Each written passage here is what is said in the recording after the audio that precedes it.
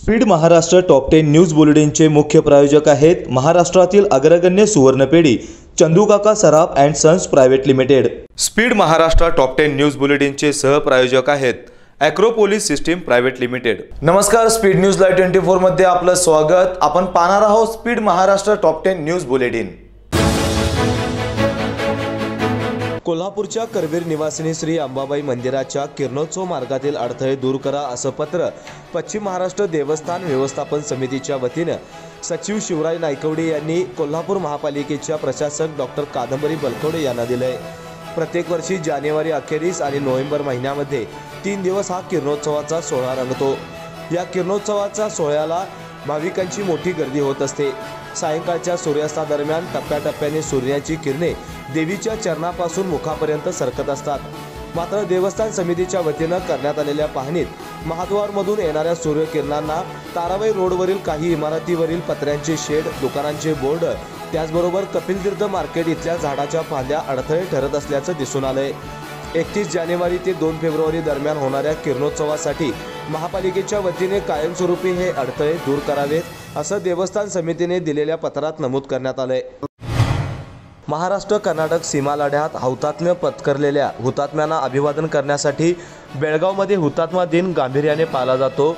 या हुतात्म्यांना अभिवादन करण्यासाठी मुख्यमंत्री एकनाथ शिंदे गटाचे खासदार धैर्यशील माने जाणार होते परंतु त्यांना कर्नाटक प्रशासनाकडून बेळगावात जाण्यासाठी बंदी करण्यात आली आहे. या प्रवेशबंदीवर त्यांनी आपली प्रतिक्रिया व्यक्त केली आहे.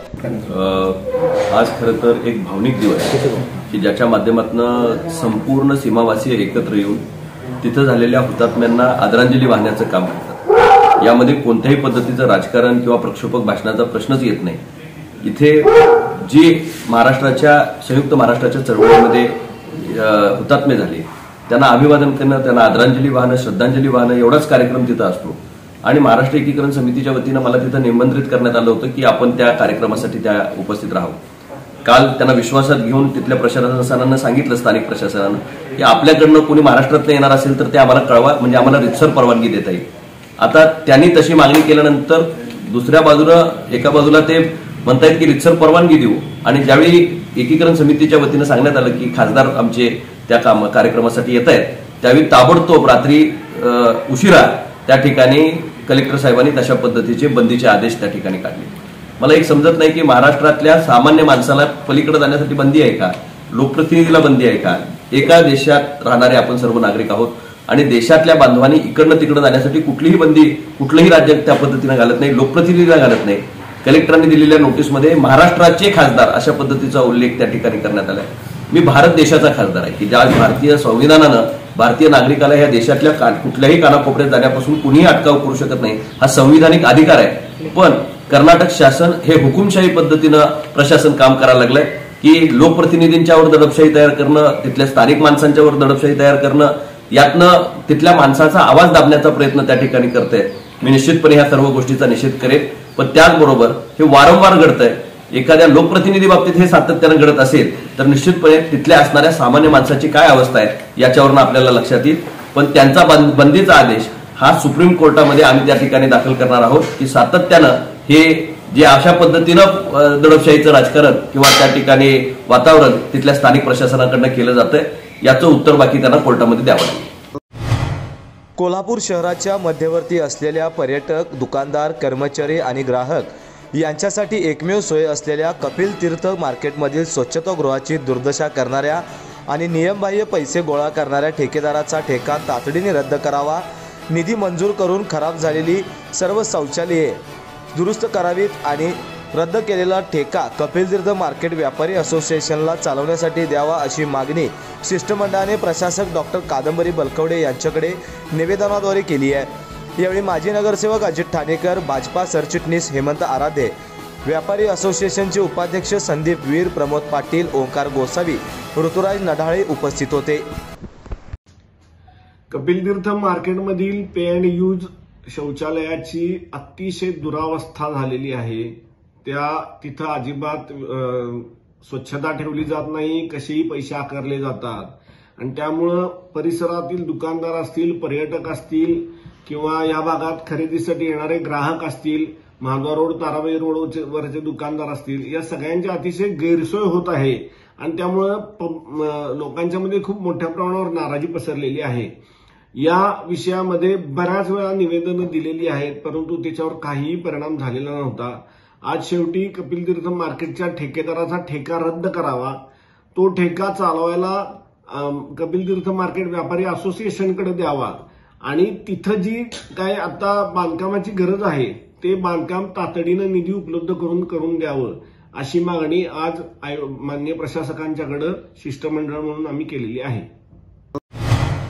देशसेवेला वाहून घेतलेला सैनिक या विषयाची आपल्या कुंचल्यांच्या माध्यमातून आशयघन पद्धतीने मांडणी करत वीरगाथा प्रोजेक्ट टू पॉईंट झिरोमध्ये सहभागी झालेल्या कोल्हापूरच्या तेरा वर्षीय फरहान राजमहम्मद मकानदार या विद्यार्थ्याचा देशभरातील पंचवीस सर्वश्रेष्ठ विजेत्यामध्ये समावेश झाला आहे. सव्वीस जानेवारीला होणाऱ्या प्रजासत्ताक दिनाच्या आदल्या दिवशी म्हणजेच पंचवीस जानेवारी रोजी दिल्लीत संरक्षण मंत्री राजनाथ सिंह यांच्या हस्ते फरहानला सन्मानित करण्यात येणार आहे.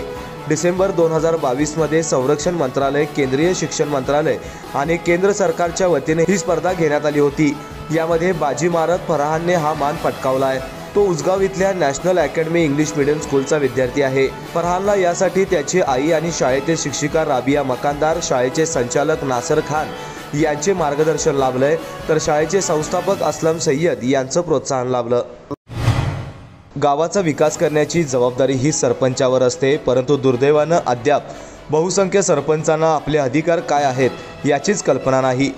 मी पंचवीस वर्षापासून सरपंच म्हणून कार्यरत आहे तरीही मला अजून ग्रामपंचायतीचा कारभार कळालेला नाही. एक वेळ वेद भगवद्गीता तुकारामांची गाथा समजू शकेल परंतु ग्रामस्थांच्या हितासाठी ग्रामपंचायतीचे कामकाज कसे चालवावे हे कळणं कठीण असते. याकरिता सरपंचानं कायम नवीन शिकण्याची वृत्ती ठेवावी महत्त्वाचे म्हणजे सरपंचांनी वादविवाद गटबाजी याला थारा न देता ते गावाच्या विशीबाहेर ठेवावेत आणि गावाच्या विकासाला प्राधान्य द्यावं असं आवाहन आदर्श सरपंच म्हणून गौरवण्यात आलेले पाटोद्याचे भास्करराव पेरे पाटील यांनी केलंय. मराठा समाजाच्या वतीनं लोकनियुक्त सरपंच सन्मान सोहळ्यात ते प्रमुख वक्ते म्हणून बोलत होते. कार्यक्रमात मान्यवरांच्या हस्ते सरपंचांचा सन्मान करण्यात आला. दरम्यान गावात स्वागत कमानी आणि समाज मंदिरे उभारण्यापेक्षा ग्रामस्थांच्या हितासाठी सुविधा पुरवण्यावर भर द्या असं आवाहनही यावेळी पेरे पाटील यांनी केलं. गेल्या चार दशकांपासून गुणवत्तापूर्ण उच्च शिक्षणासाठी ओळखल्या जाणाऱ्या डॉक्टर डी वाय पाटील ग्रुपने आपल्या गुणवंत विद्यार्थ्यांसाठी अभिनव शिष्यवृत्ती योजना सुरू केली आहे. ग्रुपच्या विविध संस्थांमध्ये प्रथम वर्षासाठी सर्वोच्च गुणांनी प्रवेश घेतलेल्या विद्यार्थ्यांना सौ Shantadevi D Patil merit scholarship दिली जाणार आहे. डी वाय पाटील ग्रुपचे अध्यक्ष डॉक्टर संजय डी पाटील यांनी ही स्कॉलरशिप योजना देण्याची घोषणा केली होती. यावर्षी एकूण सहासष्ट विद्यार्थ्यांना ही स्कॉलरशिप देण्यात आली आहे. सौ शांतादेवी डी पाटील यांच्या वाढदिवसानिमित्त हॉटेल सयाजी इथं झालेल्या विशेष समारंभात सौ Shantadevi D Patil merit scholarship योजनेचा शुभारंभ करण्यात आला. कुटुंबाला एकत्र ठेवण्याचा हा भावनिक प्रसंग असल्याच्या भावना यावेळी डी वाय पाटील ग्रुपचे अध्यक्ष डॉक्टर संजय डी पाटील यांनी व्यक्त केल्या. डी वाय पाटील ग्रुप गेले अडतीस वर्ष वेगवेगळ्या संस्थेच्या माध्यमातून कोल्हापूरमध्ये आपण स आईसाहेबांचे सौ शांतादेवी डी पाटील मिरिट स्कॉलरशिपची सुरुवात केलेली आहे. आज सहासष्ट विद्यार्थ्यांना शंभर टक्के फ्री स्कॉलरशिप आपण देतो आहे second year third year fourth year असं चारही वर्षाला मिळून जवळजवळ सव्वा तीनशे विद्यार्थ्यांना ही स्क्रीम पुढच्या चार वर्षामध्ये लागू राहणार आहे. आणि विद्यार्थ्यांना ह्या नक्कीच प्रेरणा मिळेल आणि चांगलं शिक्षण त्यांना मिळत राहील. जो विद्यार्थी त्या त्या ब्रांचमध्ये मिरिटमध्ये प्रथम असेल अशाच विद्यार्थ्यांना आपण देतो आहे त्यामुळे मुलं देखील चांगल्या तऱ्हेने अभ्यास करतील चांगले विद्यार्थी येतील नक्कीच कॉलेजचं स्टँडर्ड देखील चांगल्या पद्धतीने वाढेल. यावेळी उपाध्यक्ष आमदार Satej Patil doctor D Y Patil विद्यापीठ पुणेच्या प्रकुलपती doctor Bhagyashree Patil doctor D. Y Patil education and research foundation पुणेच्या उपाध्यक्षा Supriya Chavan Patil D Y Patil academy शांतिनिकेतनच्या संचालिका राजश्री काकडे सौ. Shantadevi D. Patil merit scholarship कमिटीचे अध्यक्ष आमदार ऋतुराज पाटील उपाध्यक्ष पृथ्वीराज पाटील उपाध्यक्ष तेजस पाटील वैजयंती संजय पाटील वृषाली पृथ्वीराज पाटील मेघराज काकडे करण काकडे कुलगुरू डॉक्टर राकेश कुमार मुदगल कुलगुरू डॉक्टर के प्रथापन कार्यकारी संचालक डॉक्टर ए के गुप्ता अधिष्ठाता डॉक्टर आर के शर्मा यांच्यासह डी वाय पाटील ग्रुपच्या विविध संस्थांचे प्राचार्य विभाग प्रमुख स्कॉलरशिप प्राप्त विद्यार्थी उपस्थित होते.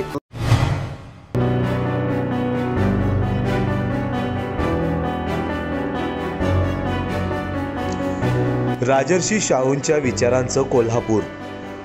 या पुरोगामी कोल्हापूरनं आतापर्यंत देशाला अनेक नवे विचार दिलेत. जे कोल्हापुरात घडतं ते देशभर पसरतं.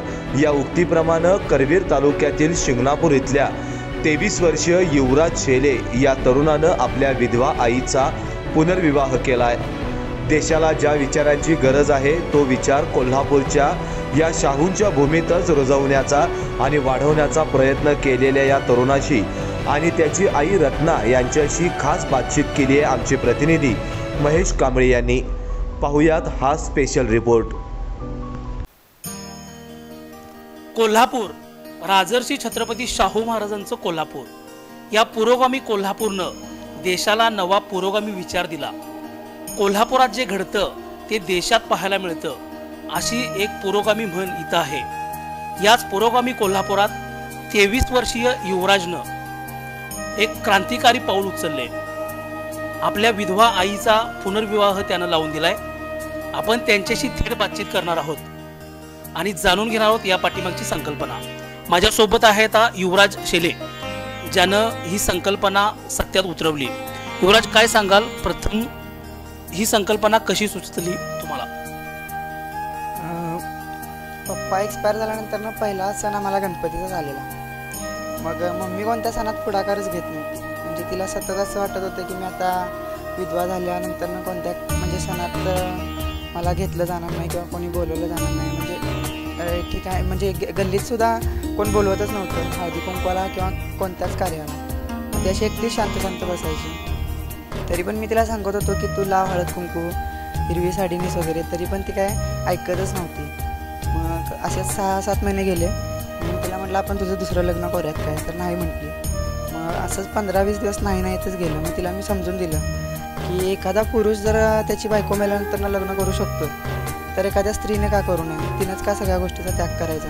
आपण बघ्यात म्हटलं हे सगळं करून. तर मग ती म्हटली नको लोक काहीतरी बोलतील नावं ठेवतील किंवा आपण असं केल्यानंतर ना एरियामधून घालवून देतील हाकलून देतील वगैरे. मग मी म्हटलं बघू काय होईल ते होईल. मी काकांना कॉल केला. काकांना विचारलं तर काकासुद्धा आधी नाहीच म्हणत होते. त्यांना सुद्धा पंधरा वीस दिवस मनवण्यातच गेले. दोघांना मग एकमेकांच्या विश्वासात घेऊन प्रोत्साहन देऊन बारा तारखेला लग्न केलं. खरं तर अ, हा निर्णय घेताना समाजातून काही विरोध झाला का? नाही म्हणजे मला तसा कोणी विरोध केलाच नाही. कारण मा मी जिथं राहतो तिथली माणसं मला सगळ्यांनी सपोर्ट केला. की लग्नाच्या म्हणजे हळदीपासून ते लग्नापर्यंत त्यांनी आपल्या एका मुलाचंच लग्न असल्यासारखं सगळ्यांनी सहभाग घेतला. सगळे उपस्थित होते लग्नाला हळदीला वगैरे. खरं तर एक मोठं क्रांतिकारी पाऊल आहे. कोल्हापूर हे पुरोगामी विचाराचं माहेरघर मानलं जातं. या ठिकाणाहून एक विचार हा देशभरात जातो. आता तरुणाई ही मोबाईलकडे वळलेली आहे आणि पुरोगामी विचारच मुळात त्यांना अजून माहीत नाही. या काळात एक युवक म्हणून तुम्ही नवयुवकांना काय संदेश देणार? संदेश म्हणजे फक्त एवढाच की आपण जर आपल्या घरापासून सुरुवात केली तर सगळीकडे सुरुवात म्हणजे बदल होऊ शकतोय. सगळ्यात महत्त्वाचं म्हणजे फक्त की हां मुलगीचा सन्मान किंवा बाईचा स्त्रीचा सन्मान हा फक्त आपण आपल्या घरापासून करण्याचं गरजेचं आहे एवढंच मी सांगू इच्छितो. तर आपण पाहिलं खूप मोठा आणि सकारात्मक निर्णय युवराजनं घेतला आणि त्याचं नवयुवकांना पण आवाहन आहे की स्त्रीला योग्य सन्मान द्या. त्यांची आई रत्ना शेले आपल्यासोबत आहेत. काय सांगाल? पहिल्यांदा ज्यावेळेला युवराजनं तुम्हाला सांगितलं की आपण दुसरं लग्न करायचं आहे काय विचार आला होता मनात? मला विचार नव्ह- आला नव्हता. मी नकोच म्हटलेलं त्याला. तर मग मी काय विचार करत नाही विचार कर म्हटला. तर नाही रे बाळ म्हटलं. तर असे किती दिवस राहणार म्हटलं? मी असूच तर राहणार. समज माझी बायको झालं मी वेगळा तू काय करणार? लग्नाला होकार देणार का नाही? तर मी म्हटलं देणार नाही बा म्हटलं गलीतले लोक नावं ठेवतील मला म्हटलं एवढं मोठं पोरगाला बाई लगीन करून घ्यायला उठले. असं म्हटलं. ते म्हटलं गलीचा विचार करायचा ना माझा विचार कर म्हटला तुझा विचार कर. काय ते मला आठ दिवसात सांग म्हटला. ठीक आहे म्हटलं सांगतो म्हटलं मी. एवढंच. खरं तर चालीरीतींना फाटा देताना अनेक समाजात गैरसमज आहेत. बायका काही पण बोलतात. असं तुम्हाला काय जाणवलं का? नाही मला काय जाणवलं. बायका उलट साथ दिल्या मला. लेख असं म्हणतो तर करून घ्या जा म्हटलं. ठीक आहे म्हटलं. तर आपण पाहिलं पुरोगामी कोल्हापुरात राजर्षी शाहूंच्या भूमीतनं एक सकारात्मक विचार विचार आहे तो देशभरामध्ये पोचला आहे. आपल्या आईचं दुसरं लग्न लावून देऊन युवराजनं नवा आयाम निर्माण केला आहे कॅमेरामॅन रोहित सूर्यवंशीसह महेश कांबळे स्पीड न्यूज ला ट्वेंटी फोर कोल्हापूर.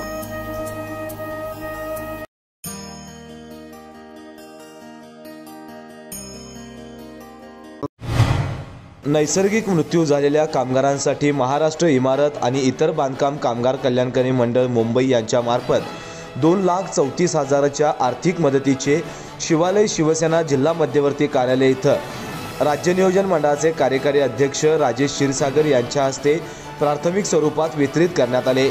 मुख्यमंत्री एकनाथ शिंदे यांच्या नेतृत्वाखाली शासन समाजातील सर्वच घटकांना धीर देण्याचं काम करीत असून दुर्दैवी नैसर्गिक मृत्यू झालेल्या बांधकाम कामगारांच्या पाठीशी कुटुंबाप्रमाणे राहणं हे शासनाचं आद्य कर्तव्य आहे.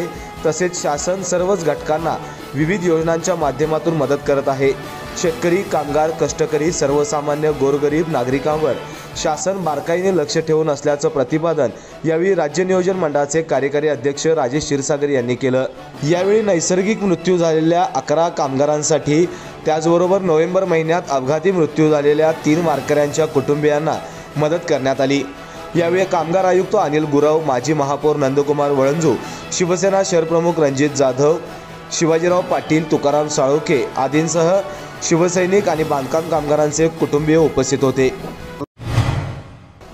महिलांवर होणाऱ्या शारीरिक आघातासाठी कायदा सक्षम बनत चाललाय. मात्र समाजातील स्त्रियाकडूनच स्त्रियांवर होणाऱ्या मानसिक आघाताबाबत मात्र कुठेच बोलले जात नाही. अपरिहार्य परिस्थितीमुळे एकट्या राहणाऱ्या स्त्रियांचे अनेक प्रश्न आहेत.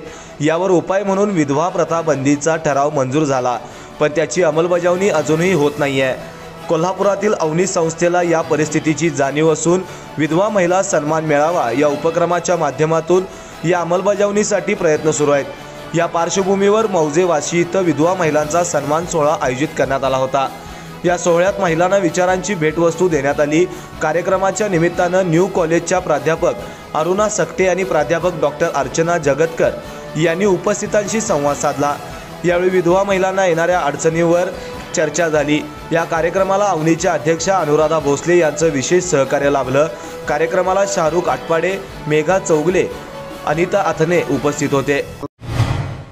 सांगली शहरातील गणपती मंदिर शेजारी असणाऱ्या पांझरपोळ इथं इंग्लिश बनावटीचे पिस्टल विक्री करण्यासाठी आलेल्या एकाच्या मुसक्या पोलिसांनी आवळल्या आहेत. त्याच्याकडून एक पिस्टल आणि एक दुचाकी असा नव्वद हजारांचा मुद्देमाल पोलिसांनी जप्त केला आहे शहर पोलिसांच्या गुन्हे प्रकटीकरण शाखेनं ही कारवाई केली आहे. उत्तम दत्तात्रय पुजारी असं अटक केलेल्याचं नाव आहे. पोलिसांकडून मिळालेल्या माहितीनुसार शहर पोलिसांच्या गुन्हे प्रकटीकरण शाखेचे एक पथक पेट्रोलिंग करत होते. यावेळी पथकातील कर्मचाऱ्यांना माहिती मिळाली की पांझरपूर जवळ एक व्यक्ती पिस्टल विक्रीसाठी येतो आहे. पथकाने त्या ठिकाणी सापळा लावला असता उत्तम पुजारी हा मोटरसायकलवरून येताना दिसला. त्याला थांबवून त्याची चौकशी करण्यात आली. यावेळी त्याच्याजवळ एक इंग्लिश बनावटीचे स्टील बॉडी असलेली पिस्टल मिळाली. त्याच्याकडे पिस्टलबाबत चौकशी केली असता कोणताही परवाना नसल्याचं निष्पन्न झालं. यावेळी त्याच्याकडून एक इंग्लिश बनावटीचे इम्पोर्टेड पिस्टल आणि एक दुचाकी असा सुमारे नव्वद हजार रुपयांचा मुद्देमाल जप्त करण्यात आलाय. Speed Maharashtra top ten news बुलेटिनचे मुख्य प्रायोजक होते महाराष्ट्रातील अग्रगण्य सुवर्णपेढी Chandukaka Saraf and sons private limited. Speed Maharashtra top ten news बुलेटिनचे सहप्रायोजक होते A S P L Acropolis system private limited.